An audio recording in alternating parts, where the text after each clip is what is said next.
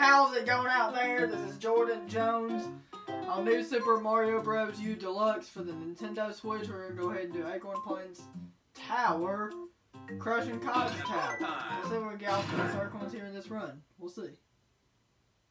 I got a squirrel suit. I just playing 1-1 again. You got the squirrel suit. Thank goodness you can just do jumping.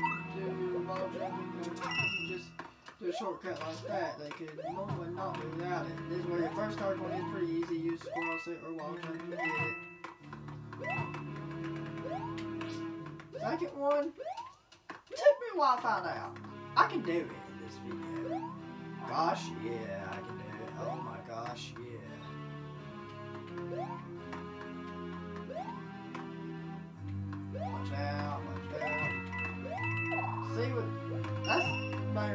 The squirrel suit. See? I needed the squirrel suit.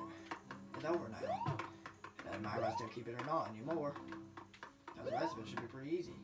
I'll try to hold on to it because it does make it a lot easier than doing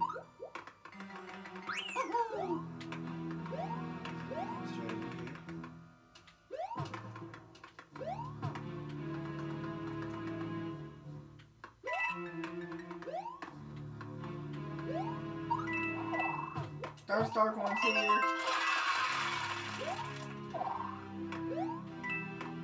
Yeah! Got all those dark ones here. Now we just have to fight Boom Boom. And then we win. Excuse me. Here's how to do the Boom Boom boss. In a quick way. Jump on him first, get close to him. He jumps up, jump on his head. The same thing for third hit. Just like that, and he's done quickly. Very quickly, I mean, he's done. Woohoo! That was a very short video, probably even shorter than the last video. We'll see on that.